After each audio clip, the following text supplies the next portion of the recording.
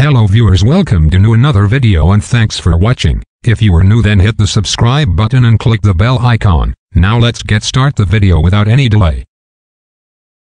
Apple's more recent MacBooks have trackpads that detect the force of a tap, responding differently to variations in pressure. The technology, which involves something called haptic feedback, is known as Force Touch. This is everything you need to know about Apple's Force Touch haptic feedback technology. What's different about the Force Touch trackpad? The function of a trackpad has not changed much over the years. It is typically a stationary touch mouse with clickable buttons, though sometimes it looks and acts like one big button. The Force Touch trackpad is different, and not just because it has a capacitive glass surface. Force Touch Apple describes Force Touch as the most significant new sensing capability since it included multi-touch in older MacBook laptops. Apart from the usual gestures like scrolling, swiping, and pinching, the Force Touch trackpad has a customizable feature aptly titled Force Touch. You can adjust the feature's sensitivity so that the pressure needed to register a click is determined by you. Force Touch can even tell whether you're clicking with your thumb or another finger and auto-adjust to the sensitivity level. Force sensors. The Force Touch trackpad doesn't actually move when pressed. It has force sensors under its four corners, and they detect subtle differences in the amount of pressure you apply, making it possible to perform a variety of different functions in different apps. Force sensors not only detect your click, but also move the trackpad laterally toward you, mimicking the downward motion of a trackpad. Haptic feedback. The Force Touch trackpad responds to your taps and presses with haptic feedback technology that you can actually feel.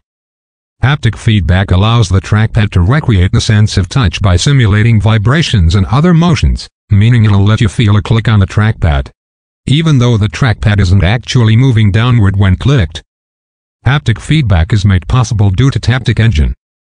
Taptic Engine. Taptic Engine is a small device attached to the back of the trackpad it mimics the downward motion or physical depression of a trackpad by tapping back in the opposite direction of your click, thus simulating the physical movement and fooling you into thinking the trackpad is moving. A traditional trackpad doesn't do any of this, but instead has a diving board mechanism underneath, and that's what moves downward and clicks.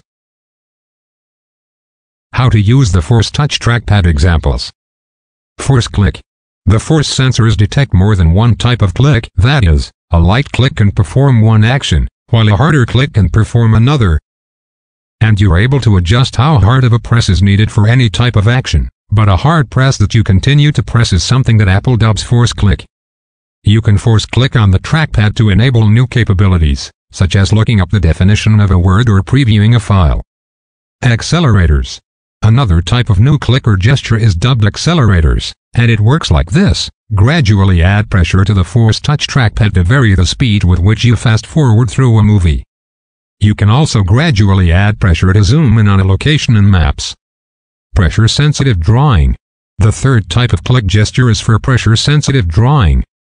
In other words, you can press lightly on the Force Touch trackpad to create a thin stroke while drawing or harder for a thick one when, let's say, creating a signature for forms in preview.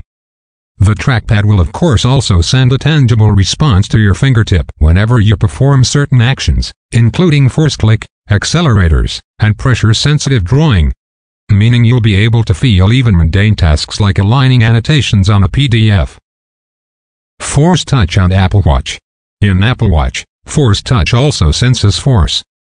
It uses tiny electrodes around the flexible retina display to distinguish between a light tap and a deep press and that allows Apple Watch to trigger instant access to a range of contextually specific controls.